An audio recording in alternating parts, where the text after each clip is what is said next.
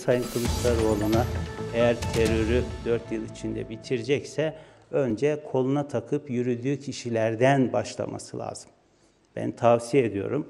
Koluna giren kişilerin artık benden uzak dur demesi lazım. Hepinizin bildiği gibi HDP, PKK terör örgütünün siyasal bir uzantısı.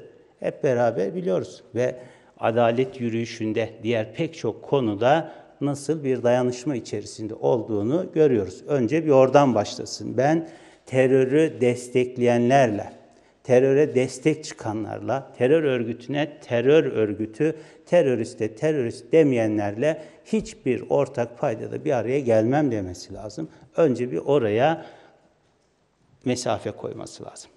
Bildiğiniz gibi daha önce hendek terörü vardı. Şehirleri ele geçirme projesi kapsamında PKK değişik yerleşim yerlerinde hendekler kazdı, barikatlar kurdu, bombalar, tuzaklamalar yaptı. Sayın Kılıçdaroğlu da Diyarbakır'a ziyaretinde hendeğin ötesindeki teröristlere arkadaşlar diye hitap etti. Önce bu teröristlere arkadaşlar diye hitap eden dili değiştirmesi lazım. Oradan başlaması lazım.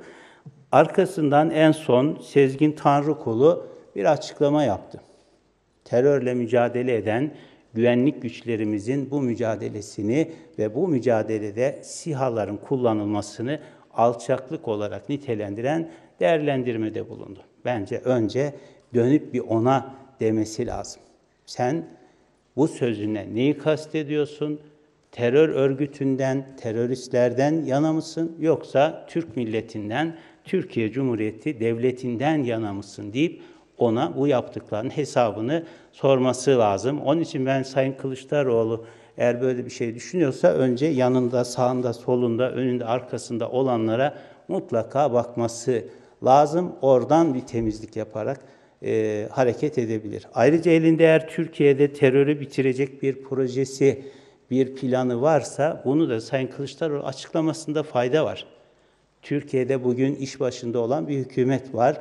Terörle mücadelede verdiğimiz şehitlerimiz var, gazilerimiz var ve bu mücadele nedeniyle ortaya çıkan fatura ortada. Eğer terörü bitirecek elinde bir formül varsa ben buradan Sayın Kılıçdaroğlu'na e, laftan öte o formülleri milletin önüne koymaya davet ediyorum.